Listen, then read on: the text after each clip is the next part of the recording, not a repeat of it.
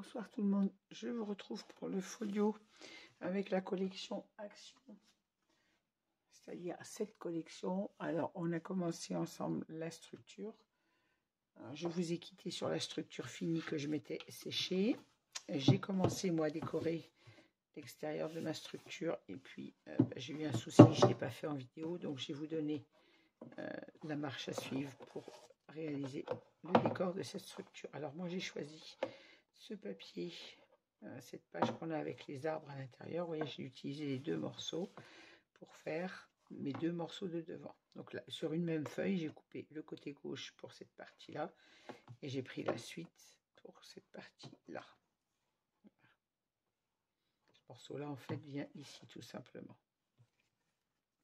Et pour le dos, j'ai pris euh, le morceau à carreaux qu'en fait on ne le verra pas ensemble, mon album va se trouver comme ceci. Alors pour ce morceau, j'ai coupé, je vous donne toutes les mesures, je les ai notées quelque part, alors la hauteur du papier, il vous faut 25 cm par 12 cm pour le dos. De toute façon, vous mesurez bien évidemment euh, la, la, distance entre vos deux morceaux de Sky Vertex vous voyez, il fallait 12 cm. Et je suis bien entre les deux. Pour le devant, alors le devant du dessus, il me fallait toujours 25 cm par 14,7. Et pour le devant intérieur, puisque vous vous souvenez, il est plus court, il fait 16 cm, il me fallait 13,7. Je vous dis, je répète, j'ai pris la même feuille, hein. j'ai pris la partie de gauche et la partie de droite, que la suite que j'ai coupée pour voyez, mon papier se suit bien pour aller là. Ainsi, quand j'ouvre mon album, j'ai le même papier. J'ai placé, avant de coller mon papier, mon ruban. Alors, comme d'habitude, j'ai mesuré le milieu de ma page. J'ai fait un repère. J'ai placé mon petit morceau de score tape et j'ai placé un ruban bleu. J'ai fait la même chose sur le dos. Alors, je vous le mets bien à plat pour vous voyez. Sur le dos, c'est la même chose. Vous mettez le milieu, vous mettez un petit morceau de score tape et votre ruban part vous avez votre album à plat comme ça, votre ruban part sur votre gauche, de façon à ce que quand on ferme l'album, vous ayez vos deux rubans comme ceci pour nouer. Celui qui vient du dos et celui du devant pour nouer sur le côté. Alors, à la limite, je dirais que le ruban n'est pas indispensable puisque j'ai mis des aimants pour fermer euh, cet album. Moi, j'aime bien, en fait, si on met juste un ruban, quand votre album n'est pas plat, logiquement ça ne boit pas puisqu'il y a les papiers à l'intérieur, mais pour être sûr que ça reste bien fermé, moi je mets des aimants. Alors j'en ai mis deux sur le côté droit et un au milieu gauche. Alors ne le mettez pas trop près de votre papier, bien évidemment, pour que, avoir une meilleure adhésion. Et j'ai laissé 2 cm et demi en haut, 2 cm et demi en bas, j'ai mis mes aimants et ici je l'ai placé au milieu. Donc là, j'ai replacé les autres au-dessus, comme vous voyez sont tout de en place de façon à pouvoir venir les coller sur ce côté-là. Mais là, je ne les ai pas collés puisque je vais avoir un rabat, donc ils vont venir se coller sur le rabat. Donc, on va travailler ce morceau. Je vous laisse le temps de marquer les mesures pour le papier dos. Donc, le dos, toujours 25 par 12 de large. Pour le devant, 25 par 14,7. Et pour le devant droit, 25 par 13,7 et vous vous mettez au ras de votre euh, Skyvertex, comme d'habitude. Je vous laisse le temps de noter les mesures. Désolé de ne pas l'avoir fait en vidéo. Vous savez que c'est compliqué pour moi pour faire des vidéos pour l'instant. Et là, il est encore euh, très tard. Hein, moi, j'attends que mon maman soit couché pour faire mes vidéos. Il est 1h10 du matin. Et c'est que le lendemain, il faut se lever pour travailler. Donc, c'est pas évident. Voilà, on va faire le côté gauche. Alors, je vous donne les mesures de mes papiers, je vous explique ce que j'ai fait. On fait le montage ensemble.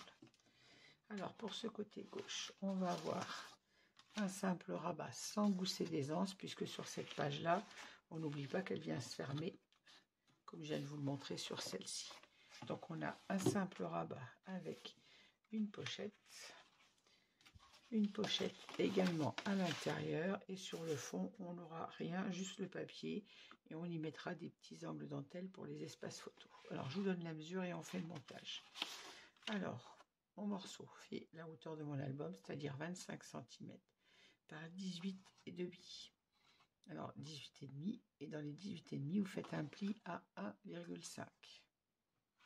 Il nous faut une pochette de 27 cm par 10,5. On fait un pli à 1 cm sur un petit côté et un grand et on ajuste le troisième sur la page. Une autre pochette également de 10,5 par 27. Même chose, un pli à 1 cm sur deux côtés, le troisième on l'ajuste. Et c'est tout pour ce morceau. Donc on va déjà monter notre euh, pochette sur le rabat. La pochette, vous avez deux plis vous de fait à ce niveau-là. Moi j'ai fait les troisième plis parce que je l'ai fait avant de vous prendre la vidéo. Et on vient s'aligner comme ceci sur notre pochette. Et le deuxième, lui, vient se mettre, c'est la même, taille, donc je peux prendre la même, à l'intérieur, comme ceci. On vient, se mettre à l'intérieur, comme ceci. Et même chose, vous faites votre troisième pli, comme ça. on va déjà monter la première.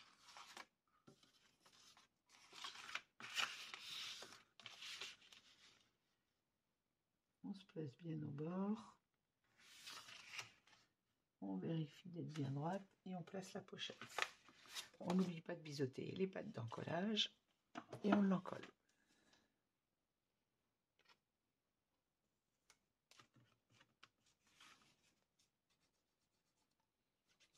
Je ne sais pas si je vais réussir à vous faire tout l'album en tuto parce que avec des heures impossibles comme ça, c'est pas évident.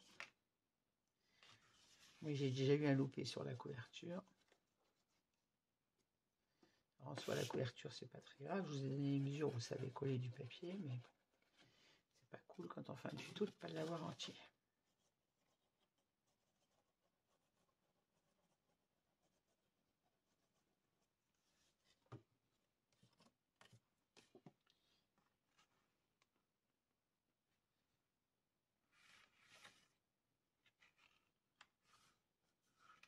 Essayé de me dire, je vous fais des tutos pendant que maman regarde la télé, mais ça veut dire que vous n'aurez pas de son, puisque je ne peux pas mettre le son avec le son de la télé derrière, en fond, en bruit de fond.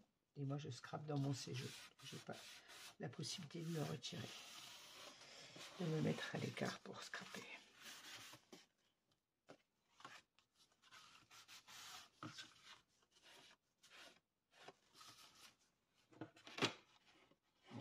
Attention aux traces de colle, comme d'habitude, ça, ça change pas.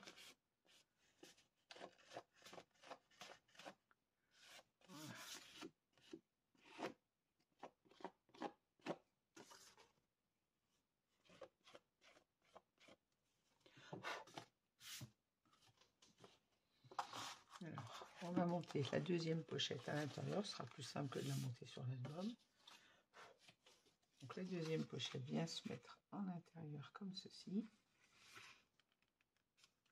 le long de votre gousset d'aisance, le long de la pliure, pardon, là on n'a pas de gousset d'aisance.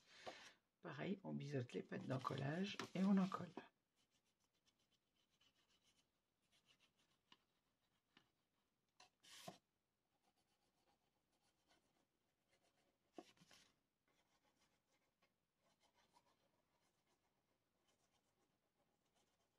Vérifiez bien vos mesures avant d'en coller. Moi, je vous donne les mesures exactes que moi j'ai coupées. Mon papier fait 25 cm.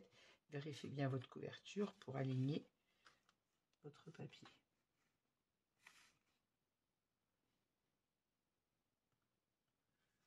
La première à dire, selon avec quoi vous coupez, vous allez obtenir euh, un millimètre de plus ou de moins. Donc il faut bien vérifier ces mesures. Voilà, ma pochette est placée le long, vous voyez, le long de mon pli. Et surtout pas sur votre pli.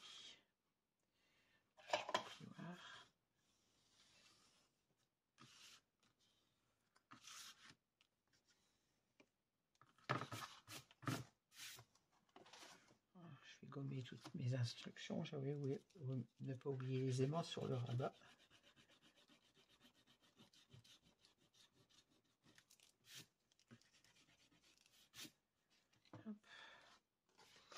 Maintenant, on va monter notre rabat. Je vais biseauter mes pattes d'encollage.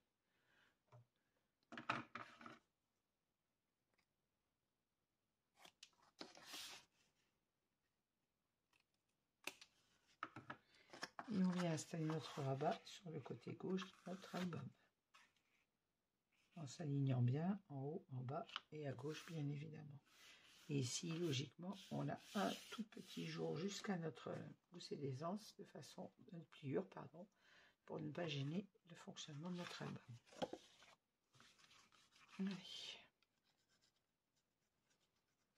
Et ensuite, il va falloir mettre en place les éléments avant de mettre le papier décor.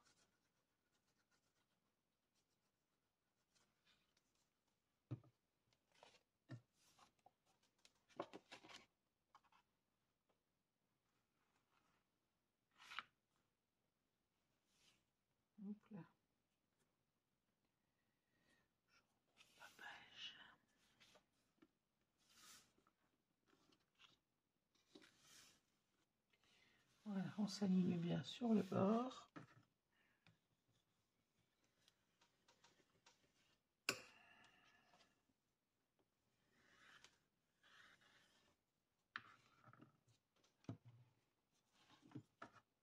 Vérifier que je sois bien en haut.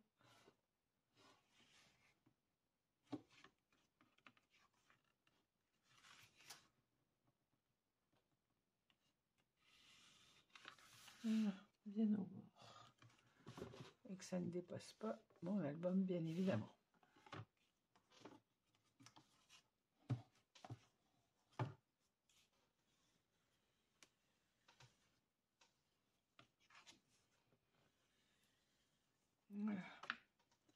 Alors maintenant, j'ai mis un aimant sur le milieu de ma page. J'ai fait un petit repère au milieu, j'ai placé mon premier aimant avec un morceau de scortette. Je mets le deuxième on va venir le placer sur le fond pour pouvoir fermer, que ce rabat reste fermé bien évidemment. Alors.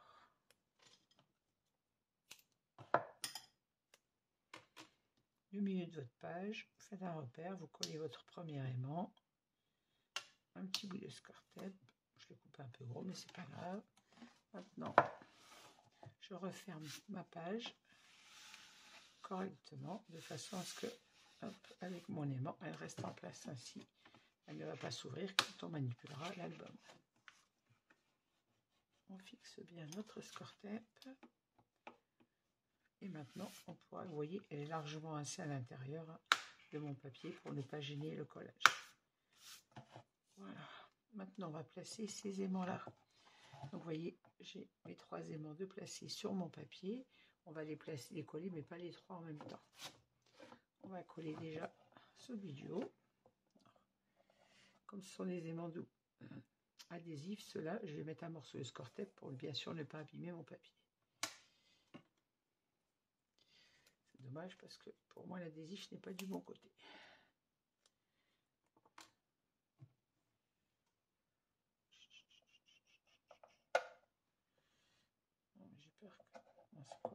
il est comme ça, voilà, c'est ça. Un petit bout d'adhésif, mais je vais mettre un bout de papier dessous pour ne pas abîmer mon papier.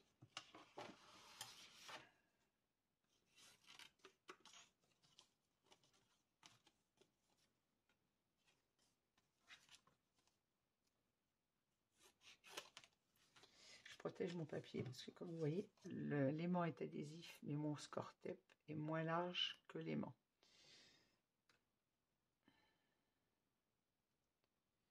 Euh, je sais plus ce que je dois faire. Ça y est, j'ai perdu mon fil de truc.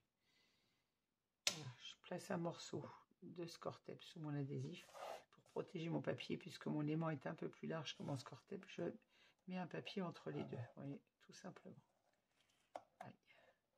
De façon à ce que mon aimant ne se colle pas sur mon papier. Maintenant, j'ai fermé mon album en gardant ma structure bien droite, de façon à ce que mon aimant se mette à la bonne place sur ce papier.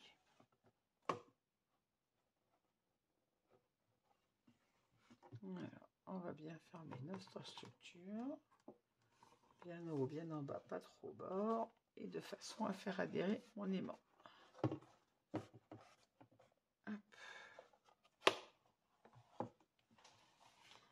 toi, viens là. Il faut que mon aimant adhère sur mon papier ici.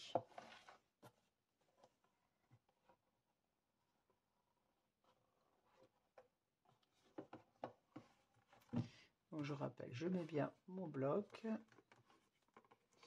Mon aimant, il doit être par là. Il faut que j'arrive à le coller. Mon score-tape, il ne veut pas adhérer. Bon. Pourtant, il est dans le bon sens.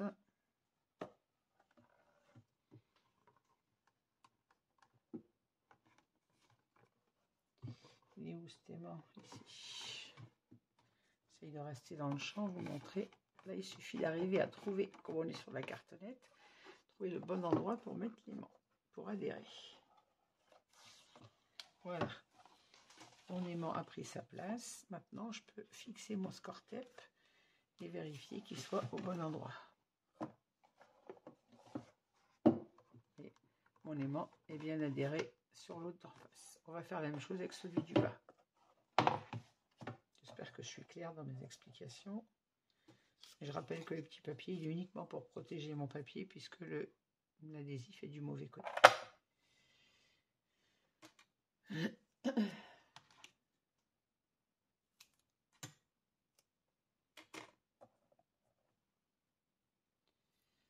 La protection double face, je colle mon aimant dessus.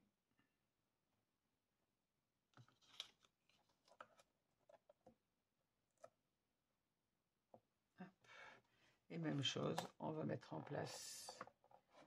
Logiquement, il doit se mettre en place tout seul, hein, parce que les aimants sont puissants. Il suffit juste de trouver où il est pour bien appuyer sur le score tape. Je pense que je dois être dessus.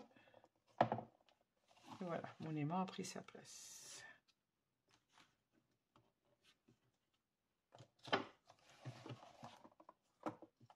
Et on a une adhésion, vous voyez, parfaite de l'aimant. Les deux aimants sont bien en place. On va faire la même chose avec le troisième.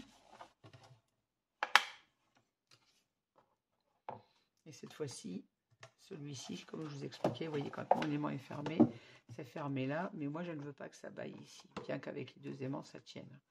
Moi, j'en mets un troisième pour une fermeture optimale. Quelque chose de très net. Vous savez que j'aime le travail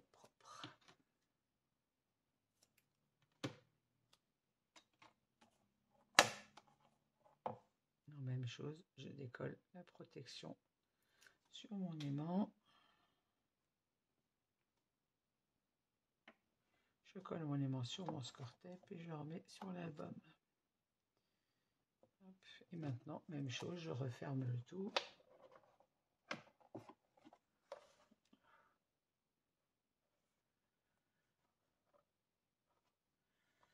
essayer de regarder s'il est bien en place?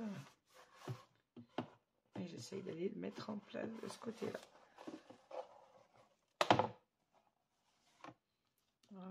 Ah, il est pas... Là, je suis pas sûr qu'il soit du bon côté. Il est venu attirer. Il est attiré par les mains de l'autre côté. Donc, je suis pas sûr qu'il soit à la bonne place. Euh...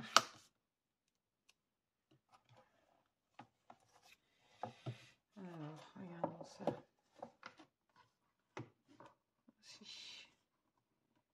Il tombe au bon endroit, donc en fait, j'ai même pas besoin de mettre le troisième logiquement.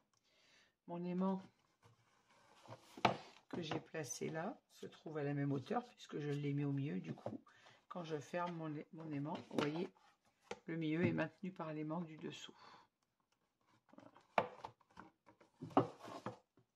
Je vais le mettre quand même. Vérifier que ça tombe bien à la bonne place. Ouais, c'est ça. Mais toi, faut que tu restes en place. Ah, j'ai pas vérifié la polarité du truc. Voilà.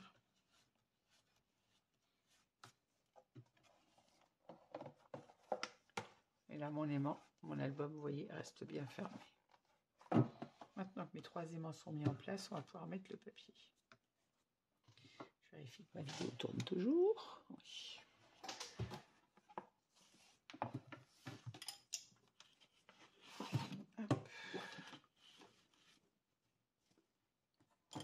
Excusez-moi, j'organise mon plan de travail parce que j'aime le bazar. Alors, pour cette première partie, j'ai choisi ce papier avec les sapins pour l'intérieur de ma pochette, j'ai choisi ce morceau avec les fleurs de coton, les pommes de pin, puisque là on a le sapin.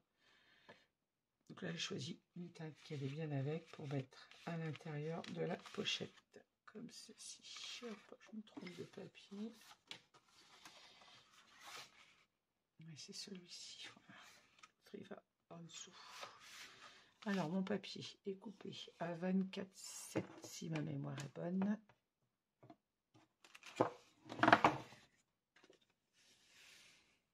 « 24,6. On a 25 cm. J'ai coupé à 24,6 par 8 cm de large.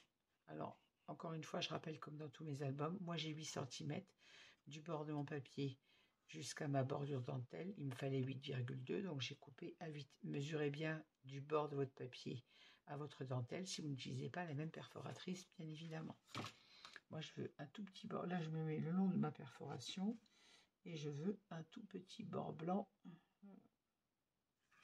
sur le côté. Moi, c'est pas le bon papier, j'ai trompé de papier. Qu'est-ce que c'est que ça? Il est trop court pour ma pochette. Ai coupé deux en même temps.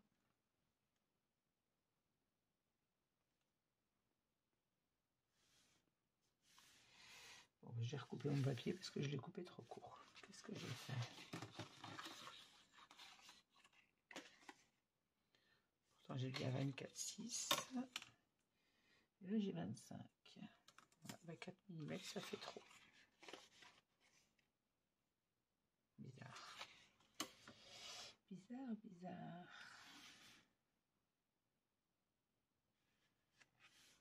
Je vais recouper, ça me plaît pas du tout. je recoupe mon papier et je reviens de suite.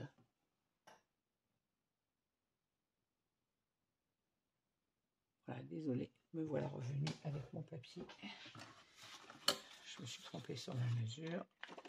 Donc je suis à 24,7 et là tout à l'heure j'avais 24,6 mm, 100 mm.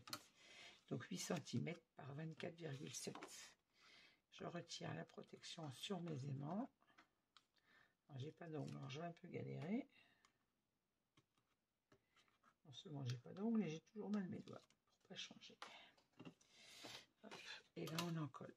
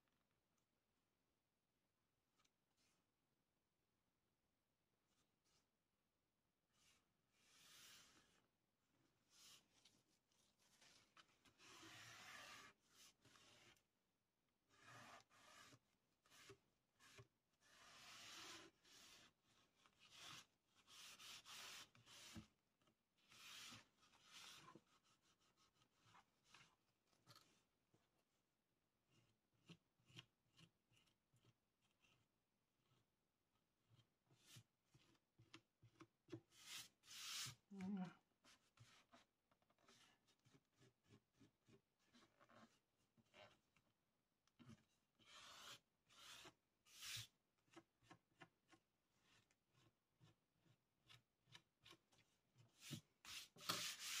Ma pochette est collée. Maintenant, le morceau à l'intérieur de la pochette, je vous ai dit, j'ai choisi celui-ci. Alors, il est coupé. Même chose à 24,7, logiquement. Voilà, c'est ça. 24,6 exactement j'ai. pour ça que je me suis trompée pour la pochette. J'ai 24,6 et la pochette, le dessus 24,7. Bien évidemment, c'est un peu plus long. Là, on coupe un peu plus court puisqu'on rentre à l'intérieur. Et là, en largeur, j'ai 9,5. 9,5 par 24,6. On n'oublie pas d'enlever la protection du score-tape sur les vents et on vient en coller notre papier.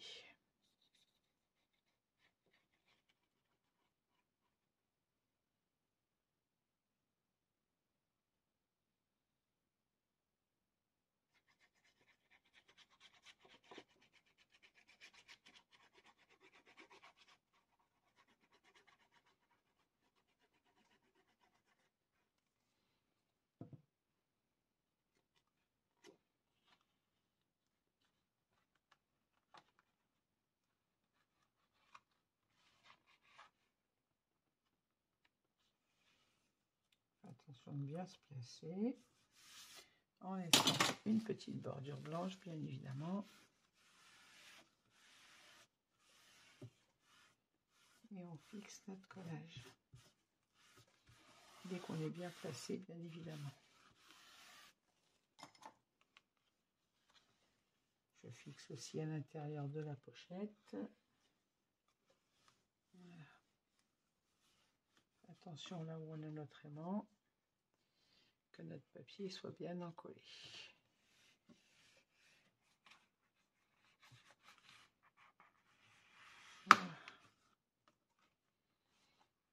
Oui, ça va, bien, ça va bien ensemble. Choisir des teintes. Je m'étais tâté à faire le même papier et puis celui-ci à l'intérieur, mais j'aimais bien aussi ce papier un peu avec le, les fleurs de coton, donc j'ai décidé de le mettre en devant quand même. Pour l'intérieur, donc j'ai fait l'inverse. Le papier qui se trouvait sur la bande, sur la pochette, je le mets dessous, et celui qui se trouvait dessus, je le mets dessous. Mais il est passé où? Je ne sais plus. Je vais passer mon bout de papier. Ben, il là. Voilà. Et la bande de papier coton qui se trouvait, lui, en dessous, se trouve sur la pochette. Donc, comme ceci. Voilà. Je vais y arriver. Alors, même chose pour la hauteur. Pour ma pochette, je suis coupée à 24,7 par 8 cm, puisque toutes mes pochettes feront la même taille. Donc, on vient vérifier avant d'en coller. Comme ceci, on va le placer.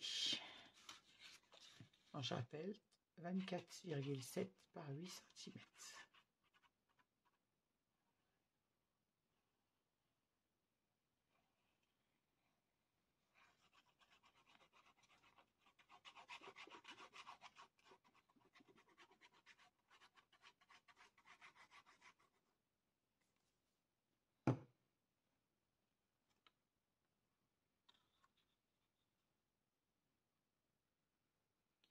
et on se place le long de notre bordure dentelle. On respecte le petit espace blanc en haut et en bas, le petit matage du papier.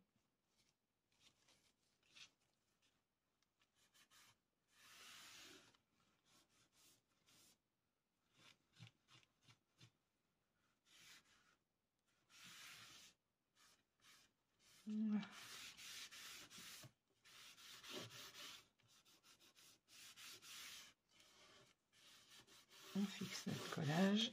On va mettre celui à l'intérieur de la pochette. Donc lui, normalement, est coupé à 24,6. On va vérifier. Là, j'ai 24,7. Donc s'il faut que je recoupe un millimètre, je vais recouper mon millimètre. Et en largeur, j'ai coupé 9 cm de façon à ce qu'il rentre juste dans la pochette.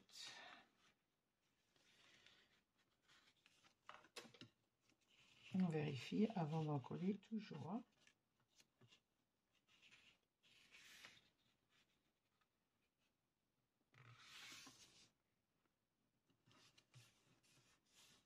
C'est parfait. Ça rentre parfaitement en place. On fait attention de ne pas oublier d'enlever la protection sur les mains. Et on en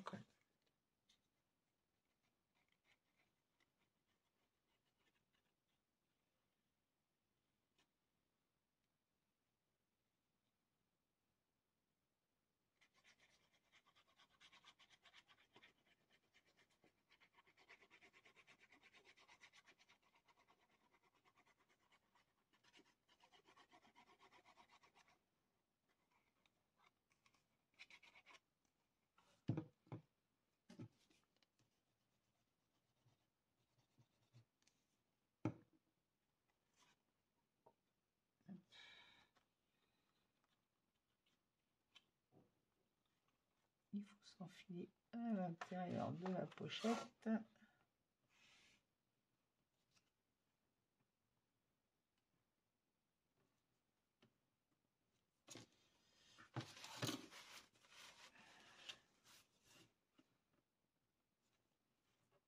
Respecter notre petit matage blanc.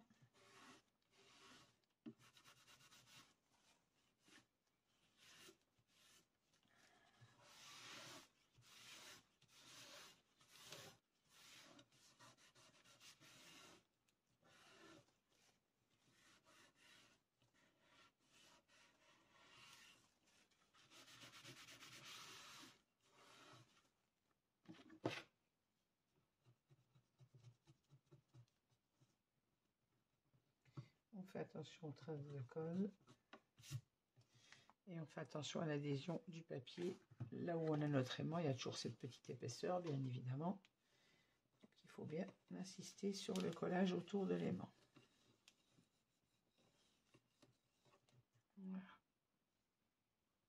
En plus, on a un aimant de chaque côté hein, sur celui-ci. Voilà. Donc on a notre pochette du dessus, notre pochette à l'intérieur. Sur la pochette à gauche, là on a sur notre pochette sur la droite. On va mater maintenant le fond de cette page. Donc j'ai choisi moi celui-ci papier. Alors j'ai coupé ma hauteur de papier donc à 24,7 logiquement. Voilà, c'est ça. On va vérifier ça. Un petit chouille. C'est bon. Et maintenant, je vais couper ma largeur. Donc, il faut que mon papier démarre de l'intérieur de ma page, sans la gêner, bien évidemment. Et ensuite, jusqu'à mon jusqu'à notre pliure en fait de la structure comme ceci. Donc en largeur, il me faut j'ai 17,2 donc je vais me couper à 17 et 17,2 jusqu'au ras de la structure. Je vais couper 17 cm.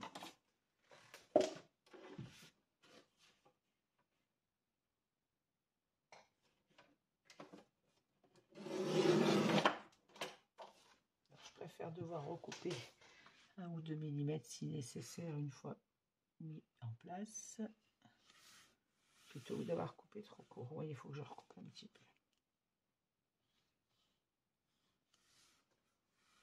Là, je suis trop sur la structure. C'est logique, puisque j'ai 17, mon papier doit être plus court. Là, de là jusqu'à ma structure, j'ai 17. Donc, je vais couper à C'est ça, 16,7.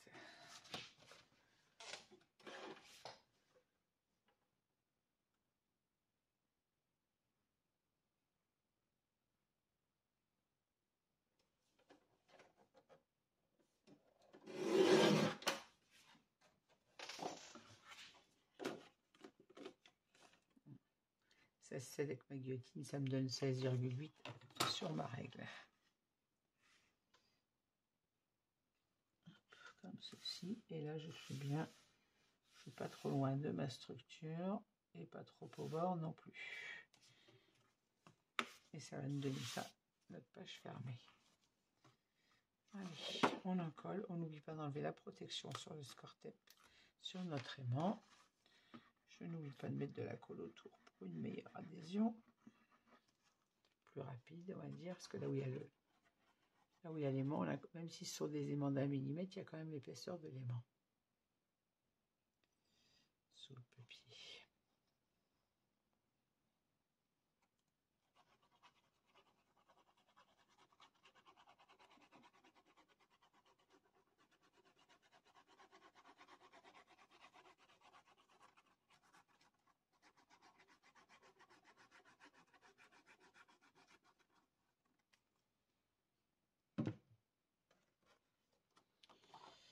place pas le papier à l'envers, bien évidemment.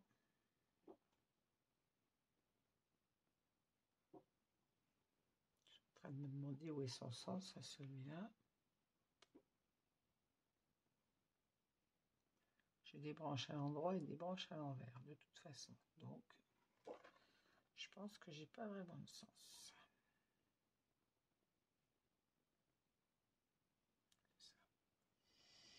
Allons-y. Allons-y, les branches vertes.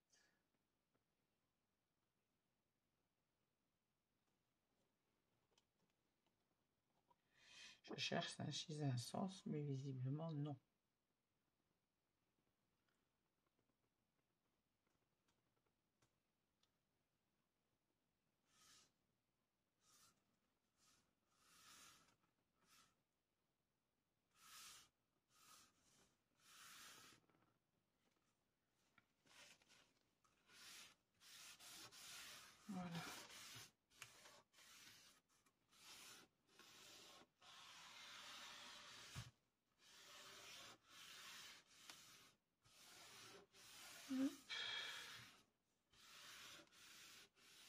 Ce papier va très bien avec celui-ci. C'est le même, sauf qu'on n'a pas la pomme de pain.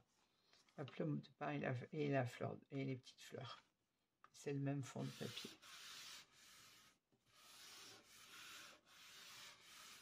Voilà, l'élément est bien pris en place.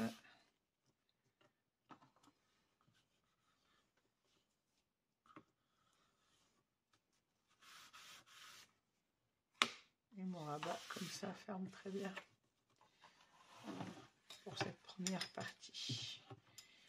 Alors on a donc notre pochette ici dans laquelle on pourra mettre un livret, un livret ici, et ici on peut toujours venir mettre deux espaces photos ou laisser le papier comme ça. Moi je mettrai des petits angles, vous savez, en dentelle pour rappeler le, la dentelle blanche et ensuite pouvoir y mettre des photos sans avoir d'épaisseur, de surépaisseur de matage.